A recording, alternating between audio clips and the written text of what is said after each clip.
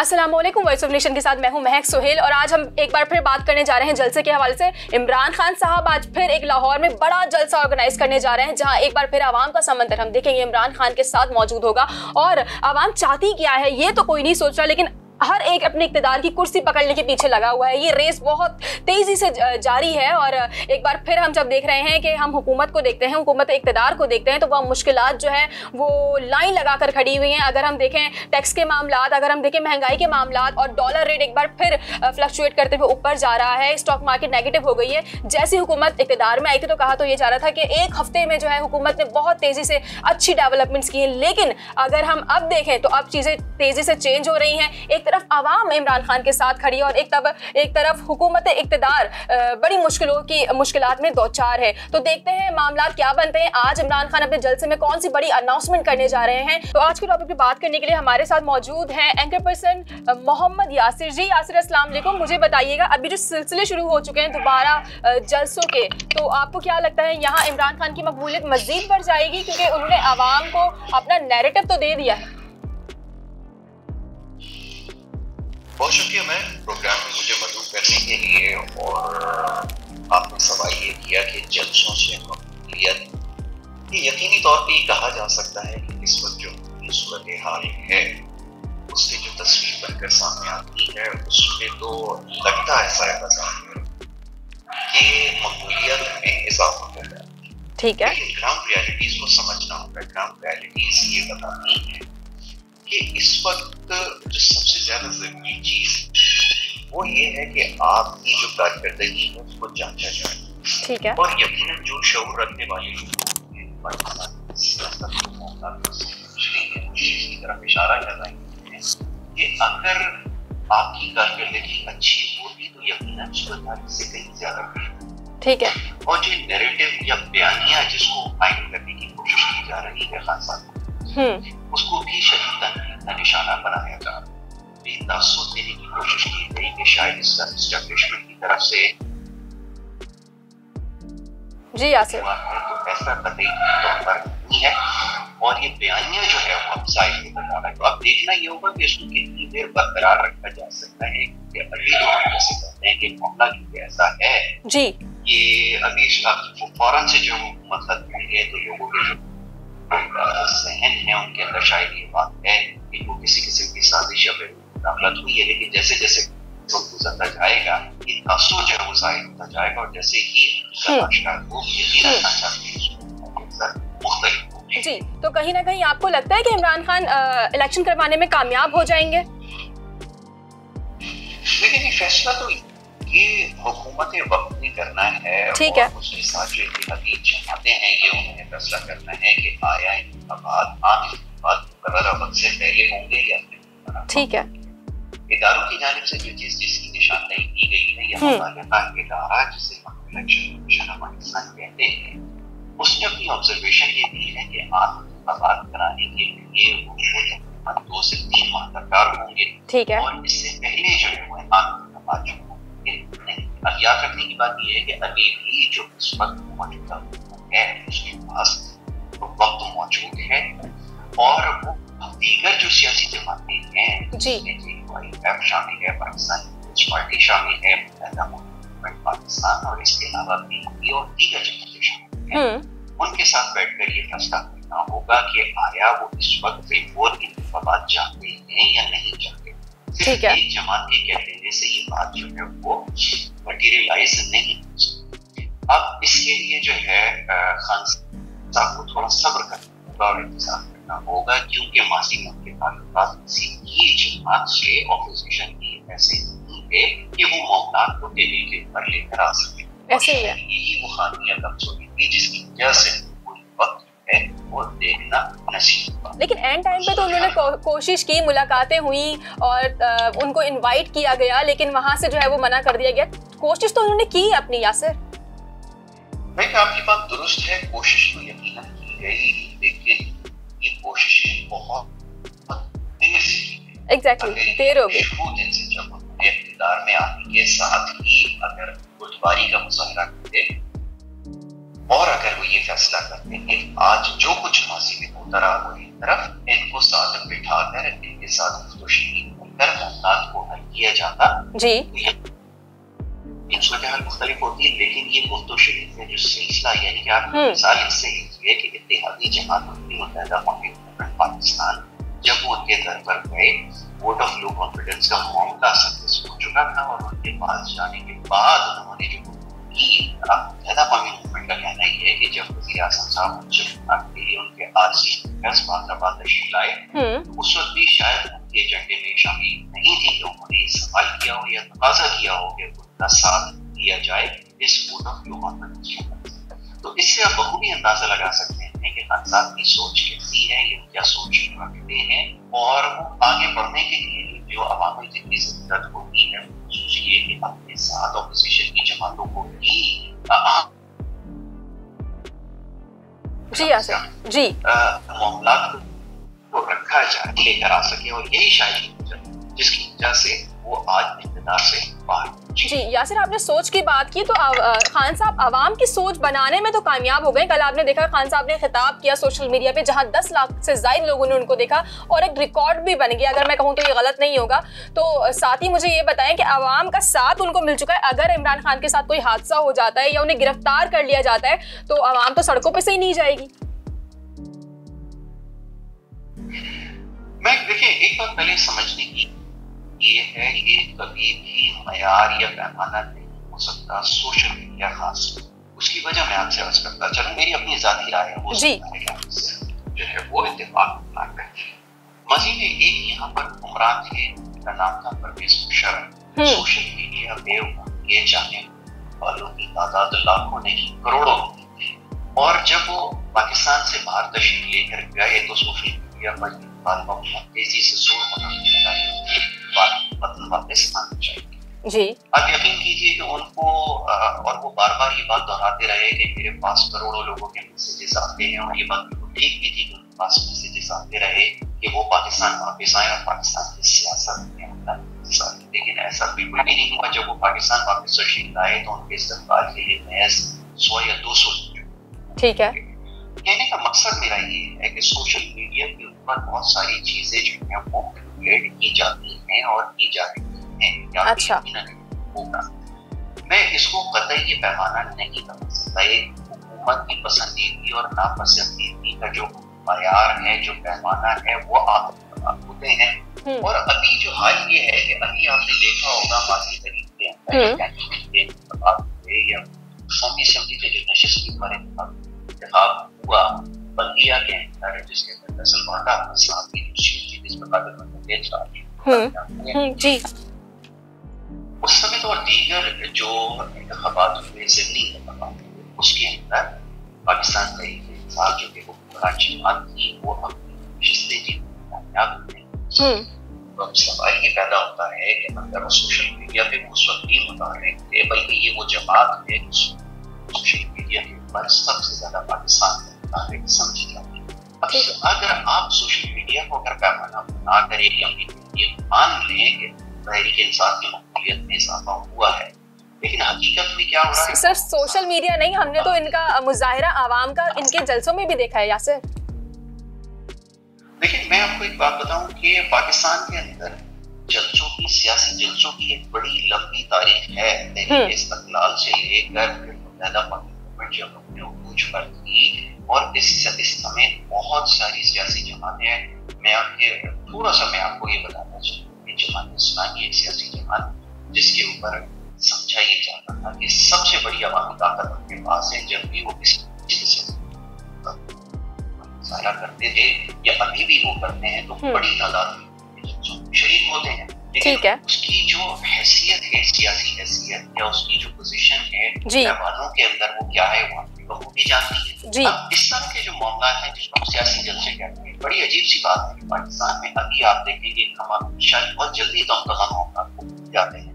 ये जो वोट को इज़्ज़त वाला मामला था आपको याद होगा जब इस तरह मरियम नवाज़ और जब नून के जलसे हुआ करते तो बड़ी तादाद में लोग आया करते थे शिरकत किया करते थे। इसी तरह और दीगर ये जो अभी महँगाई मार्च हुआ कुछ अर्से पहले पाकिस्तान पीपल्स पार्टी ने मार्च किया बड़ी तादाद में हम्म।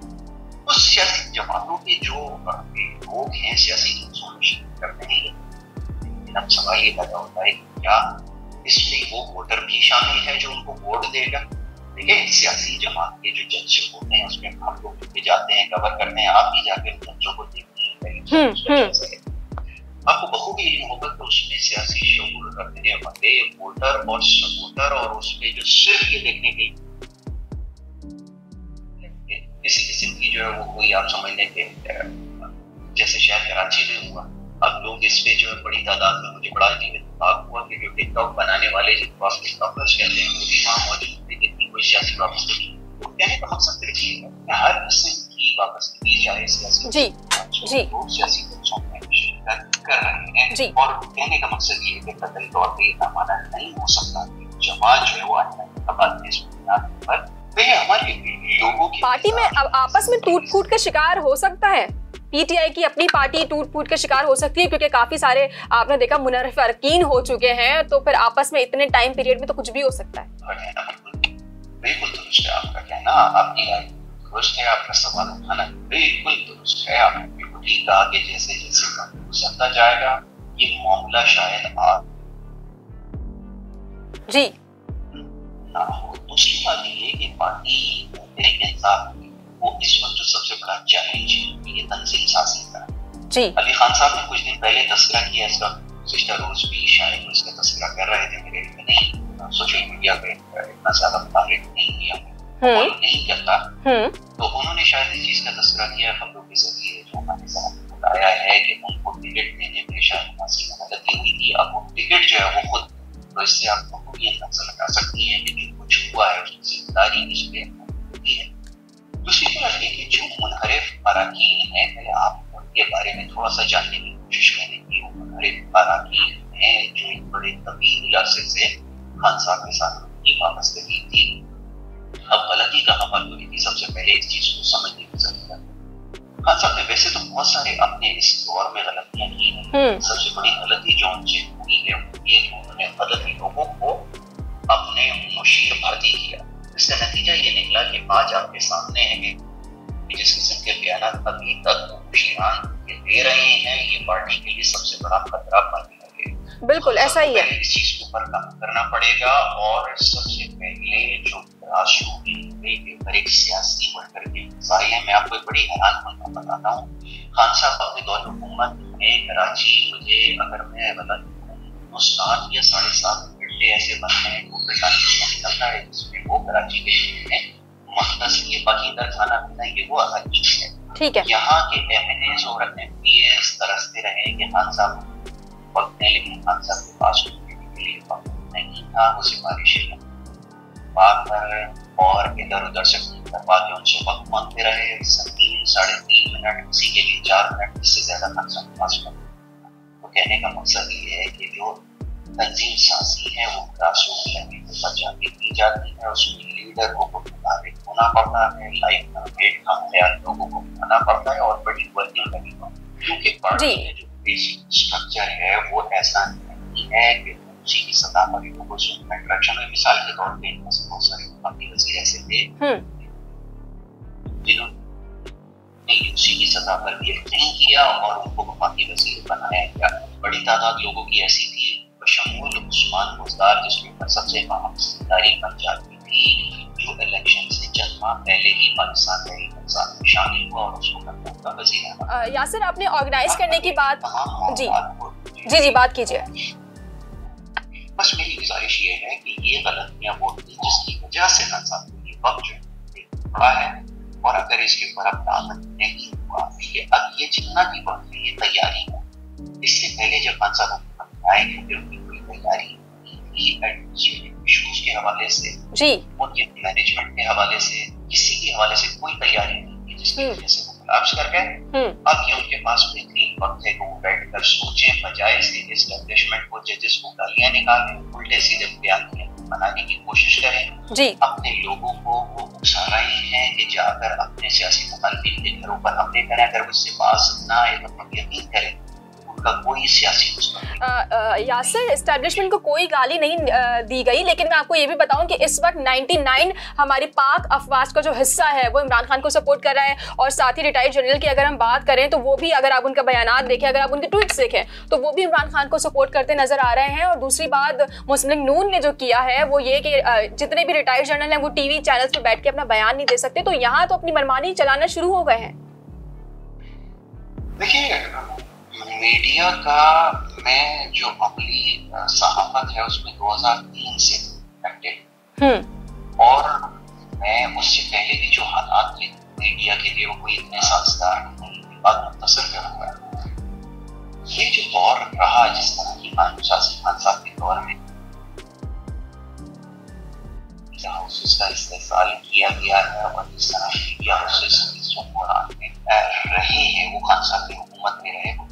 शायद मैंने अपनी ज़िंदगी में एक चीज़ दूसरी बात आपने कहा कि रिटायर्ड जो लोग हैं और जी जी। देखिए मैं सिर्फ़ उसकी बात को अहमियत दूँगा जो इस वक्त हाजिर सर्विस में या जो इस वक्त पब्लिक ऑफ़िस में है। ठीक है जी? एक तो ये चीज़ है उसकी वजह क्या है? देखिए रिटायरमेंट के बाद तो बहुत सारे लोग लेकिन अगर ऑन ड्यूटी अफसर भी बात करना चाहे ज़ाहिर सी बात है उनका कोड ऑफ़ कंडक्ट है वो इससे आप बाहर आके तो बात नहीं कर सकते। जी। मेरी मेरी गुजारिश सुनिए वो इस वक्त नहीं इससे पहले भी हुकूमत में खान साहब की हुकूमत में भी पाबंद थे और हर तरफ़ से पाबंदी है कि कोई भी किसी किस्म का बयान टीवी पर मीडिया पर आकर नहीं सकता। हम्म। आपके पास इजहार राय की आज़ादी है यकीन है सोशल मीडिया के ज़रिए आप अपनी राय का इजहार कर सकते हैं वो एक ठीक है।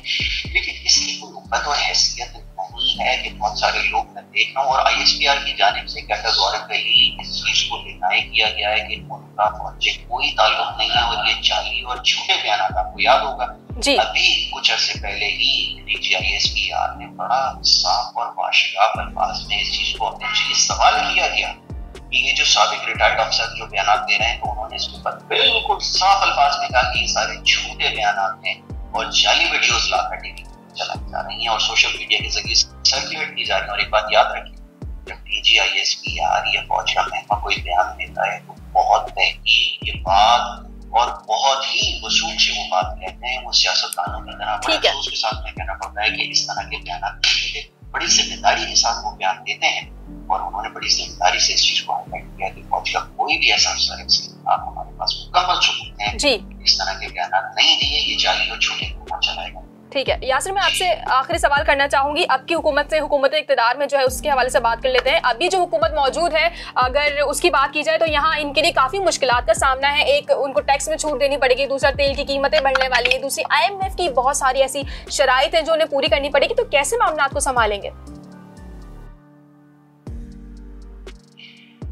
मैं अब मुख्तसर वक्त में एक बड़ा डिटेल टॉपिक है जिसकी अभी आपने निशानदेही की है। हमारे पास दो लाइन में आंसर कर दे वरना मैं आपको हाँ अब आपने ऐसा कहा है कि समंदर को पूजे में जो है वो बंद कर दिया जाए। तो बस मैं ये कहूँगा कि यही नहीं होगा नहीं है। ना ये इससे पहले इतना आसान था और किसी भी हुकूमत के लिए आसान नहीं है और उसकी वजह यह है कि पाकिस्तान में किसी भी हुकूमत ने मीशत को बेहतर बनाने के लिए कोई ठोस और लॉन्ग टर्म पॉलिसी कभी वजह नहीं की और जो नई हुकूमत आती गई जिसकी पॉलिसी कर दी गई जिसकी वजह से हमारे जो मुशी हालात नहीं हो सके। आप ये समझ लीजिए कि दुनिया में जितनी बड़ी हैं हम्म। पूरा मीशत के प्लान था दस साल या पचास साल जिसके हम करके वो आज पहुँचे हैं। ठीक है। ठीक है। बहुत शुक्रिया यासिर। हमारे साथ मौजूद है एंकर पर्सन मोहम्मद यासिर। आज का दिन जलसे के हवाले से बहुत अहम है। हो सकता है कोई बड़ी डेवलपमेंट कोई बड़ा सरप्राइज़ और कोई बड़ा नाम हम इमरान खान के साथ देखें। हम रखेंगे आपको अपडेट आप देते रहिए वॉइस ऑफ़ नेशन अपनी होस्ट महक को दीजिए इजाज़त। अल्लाह निगेबान वॉइस ऑफ़ नेशन की वीडियोस देखने के लिए हमारा चैनल सब्सक्राइब कीजिए और बेल के आइकॉन पर क्लिक कीजिए, ताकि आप हमारी तमाम आने वाली वीडियो से बाखबर रह सकें।